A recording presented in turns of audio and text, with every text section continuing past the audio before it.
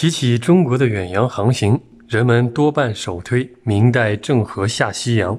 然而，鲜为人知的是，早在元代，民间航海家汪大渊就随商船远航，涉足二百二十余个国家和地区，被国外学者称为“东方的马可波罗”。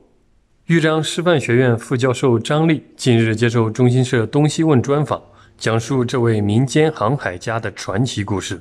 汪大渊为何被称为东方的马可波罗？在张力看来，二者有诸多共性。他们两位呢，呃，首先呢，在家庭出身背景比较一致，都是出生于衣食无忧的商人家庭。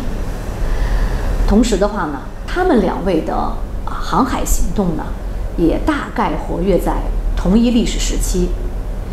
就在马可波罗离开中国后的数十年。汪大渊就从海上丝绸之路的起点泉州港出发，离开中国，走出国门，探求世界。另外两位航海家都采取了搭乘商船的方式，完成了自己的航海历程。他们的航海日志《马可波罗游记》以及《岛夷志略》，对世界历史地理所做出的贡献，为世人所认可。对人类航海事业的发展都起到了促进作用。汪大渊出生于江西南昌，成长于内陆的他，为何会萌发探索海外的志向？张力介绍称，汪大渊少年求学时就对《史记》爱不释手，对《霍职列传》中南北各异的地理、自然、物产等内容更是反复诵读，对外面的世界充满向往。汪大渊出生在衣食无忧的。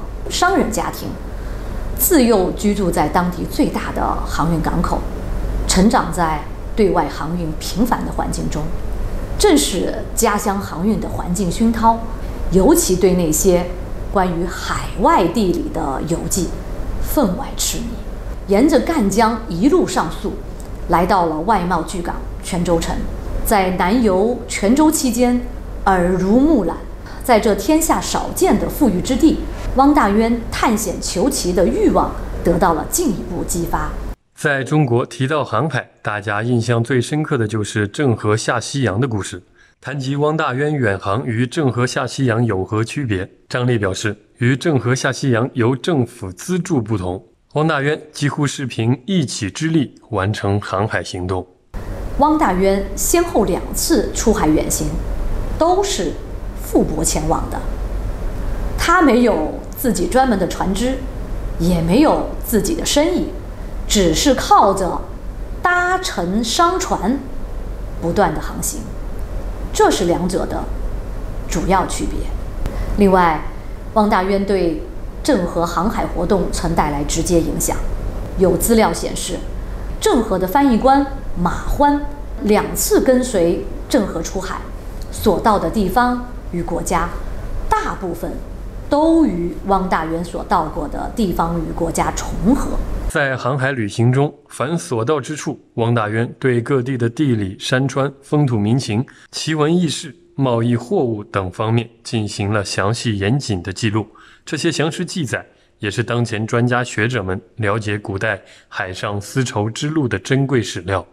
在张力看来，研究汪大渊远航，以共情激发国家之间的情感流动。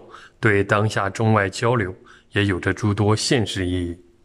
在人类与海洋接触的过程中，汪大渊无疑是冲锋在前的勇士。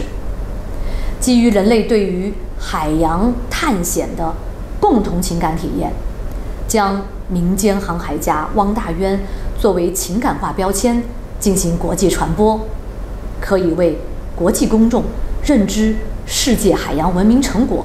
提供共情机遇。